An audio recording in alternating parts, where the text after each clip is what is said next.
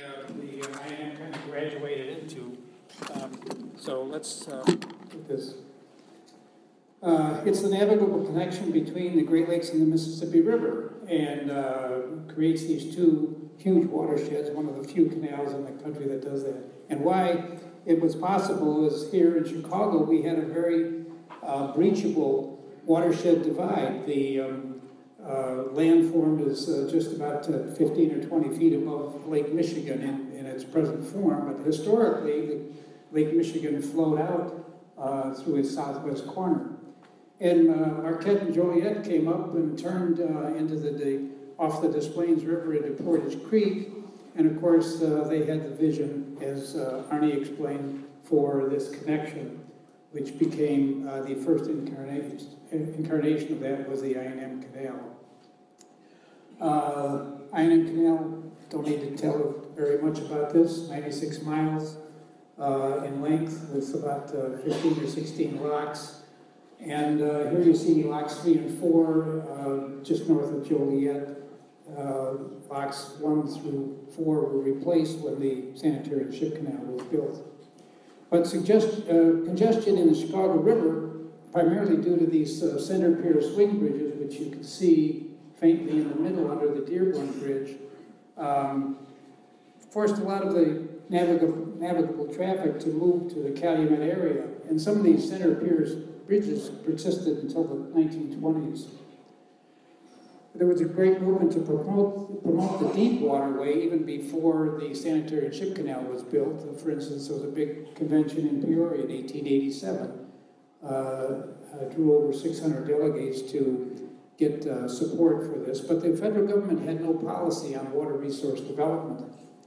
Well, Chicago's sanitary problem intervened. They had to do something about the wastewater flowing into Lake Michigan, so they built the sanitary ship canal, 28 miles of length plus 10 miles of improvements on the rivers on either end.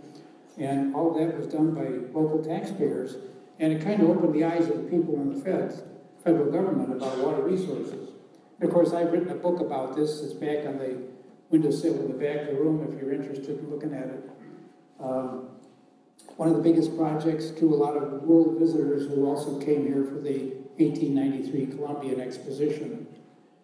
Well, federal authorization got around to the uh, waterways in 1899. The Rivers and Harbors Act authorized permits to be issued, so the sanitary district had to get permits to connect this new canal to Lake Michigan.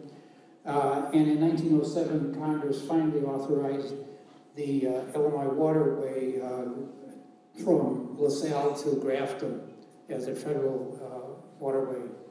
The ship canal uh, was built, was extended in 1907 uh, to build a powerhouse, and the first lock, uh, which replaced those first, first four locks of the I&M Canal. Later, the Cal-Sag Channel was built in 1911, uh, 1922.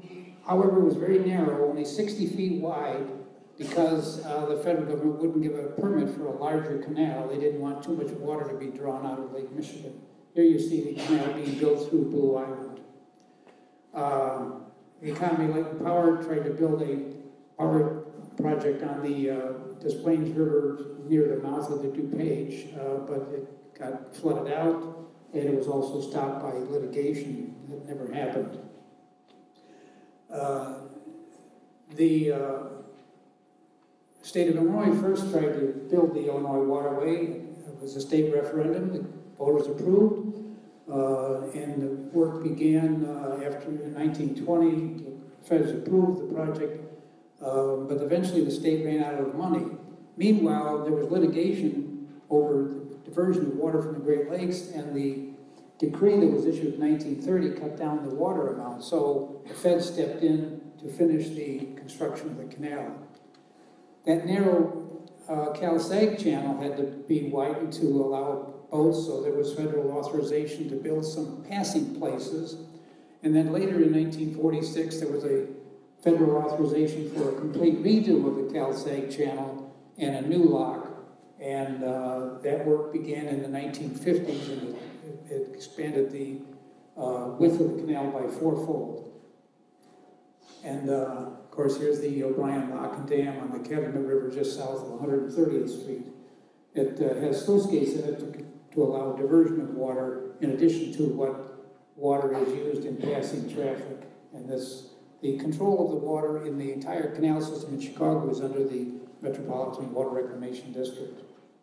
Well, here's the profile of the Illinois River. Got eight pools, from the Alton Pool, which is backed up from the uh, Lock and Dam 26 on the Mississippi River, uh, stair step all the way up to the Lockport Pool, which is the canal system in Chicago. Uh, Many people don't realize that, but that's the way it is. The two highest lift locks are the Brandon Road Lock and Dam and the Lockport Lock. And you can see the Illinois waterway in context to all the other federal waterways in the country. It's the only link connecting these two great watersheds uh, out of all the canals that are supported by the federal government.